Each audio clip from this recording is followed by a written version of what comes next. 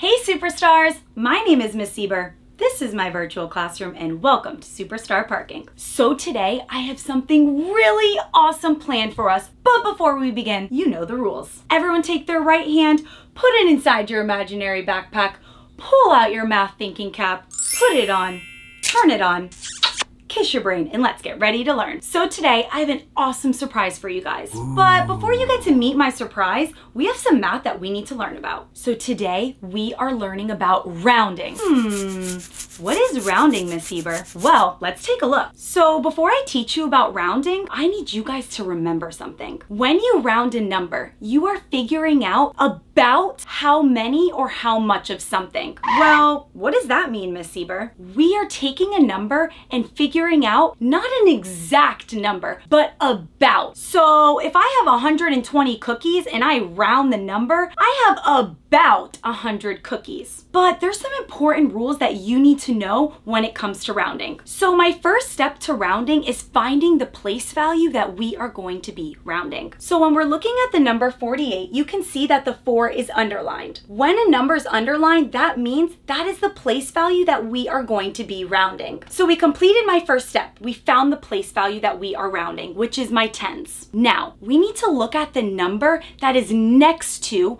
or to the right of my number. So when I look to the right of my tens place, which is my four, I could see that the number is 8. If the number is 5 or more, you go next door. But if the number is 4 or less, we let it rest. We figured out that we are rounding my tens place. Let's look at the number to the right and figure out are we going to round up or are we going to just let it rest? Can you guys help me? Because yeah. this is really hard. So we're looking at 48. Now, when I look to the right of my number, I see the number is 8. This is my rounding roller coaster. Let's see where the number 8 lands on my roller coaster. 0, 1, 2, 3, 4, up, 5, 6, 7, 8. That means that I need to round up. So, what number is next to 4? Hmm. Well, since we are rounding up because 8 is 5 or more, my number actually now becomes 50. Hold on, Miss Sieber. What do you mean the number is 50? Well, we went up, so 4 became 5, and everything else after the place value that we are rounding becomes a zero, always. Do you guys think you are ready to do another practice problem before we meet my special guest? If you're ready, give me an air high five and kiss your brain. So the next number we are rounding is 325. Ooh. So my first rule, we need to find the place value that we are rounding. So the place value that we are rounding for my number is my hundreds place. Wow, that is really big. So in my hundreds place is the number three. So when I look at my tens place, because that's next to my hundreds, I could see that the number is two. Now, do you guys remember the rules? Yeah. If it's five or more, we go next door. And if it's four or less, we let it rest. So since it's four or less, we let it rest and three stays the same. Now, is my number just going to be three? No. Hmm. If you said no, then you are correct. Remember, everything after the place value that we are rounding becomes a zero. So when we round 325 to the nearest hundreds, it rounds to 300. All right, superstars, I think that you guys are doing an awesome job at rounding. So should we do one more practice problem before you guys meet my special guest? Yeah. All right, here is my last practice problem before we meet my awesome special guest. So first we need to find the place value that we are rounding. As you can see, we are rounding my tens place. Hold on, Miss Sieber. What do you mean we're rounding my tens place? Well, we are rounding to the nearest tenth. So all of the numbers before my tens place, like hundreds or thousands, stay exactly the same. The only numbers that change are the numbers that are after the place value that we are rounding. So automatically I know my 2 stays the same because it is before the place value we are rounding. So you guys know the rules. Let's look to the right of my number and I can see in my ones place is the number 1. So one is four or less, so we let it rest. So 261 rounds to 260. All right, superstars, you guys have done an amazing job so far. But I actually have two surprises for you guys today. The first surprise is my special guest, and the second surprise is a really fun game that we are going to be playing. But before we play my game, let's meet my special guest. All right, superstars, I am so excited for you guys to meet my special guest today. So without further ado, please welcome my sister, Nicole.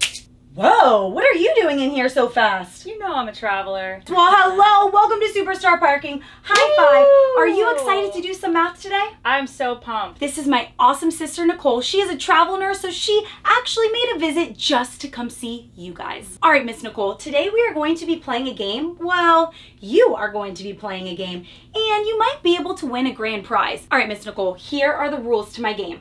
I'm going to give you a balloon, and I'm going to hide what's on the other side. There's going to be a number, and you are going to have to round the number. Now, if you round the number correctly, you will actually get to pop the balloon and see if you get the grand prize. But there's a catch. If you do not get the question correct, you do not get to pop the balloon. And if you don't get the grand prize, that means I get it. Woohoo! Nope, I think Team Nicole's gonna win. Woo woo! Drop a comment below and say, are you on Miss Sieber's team or Miss Nicole's team? All right, Miss Nicole, are you ready for my first balloon? Yes, let's do it. All right, my first number is 73, and we are rounding the tens place because that's what's underlined. So, 73 rounds to what? 70. Hmm, let me check your answer. When I'm looking, I could see when I go to the right, 3 is 4 or less. So, we let it rest and it becomes a 0. High five, Miss Nicole, you got Woo! it correct. Yay! All right, Miss Nicole. I know that you're a nurse, so that means that you're pretty careful with things. But I have these jumbo size scissors that you are going to be using to pop this balloon to see if my grand prize is inside. Are you ready? On your mark, in three, two, go!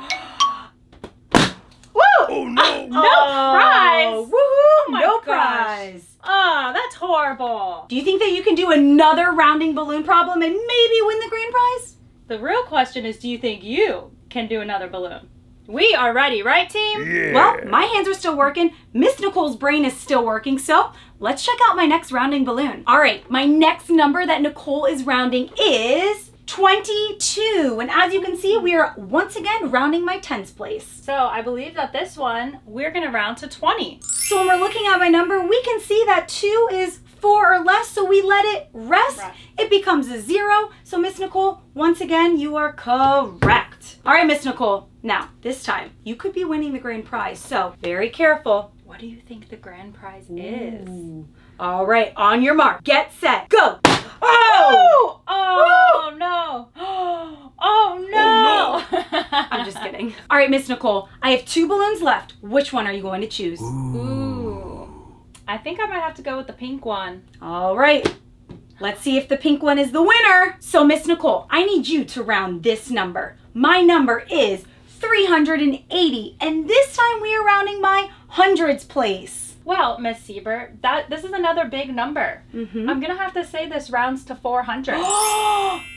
Good job, Miss Nicole. Wow, you're really getting the hang of it. You're correct. Woo! All right, Miss Nicole, on the count of three. One, two, three.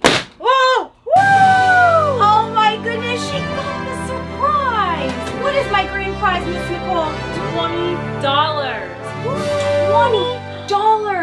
take me out to lunch with that money? Yeah. Where do you want to go? Mmm, I want to get pizza and chicken fingers and French fries and ice cream. Yes. Sounds like a Mm. perfect day on me. All right, superstars. I don't know about you, but my stomach is hungry. Thinking about all this ice cream and chicken fingers and french fries, my brain is officially done with math. But, Miss Nicole, thank you so much for coming today. You did an amazing job. Did you have fun? I had a blast. Thank you so much for having me, superstars. You are so very welcome. All right, guys, thanks for learning with me today. Kiss your brain. Miss Nicole, kiss your brain. And I will see you next time. Bye.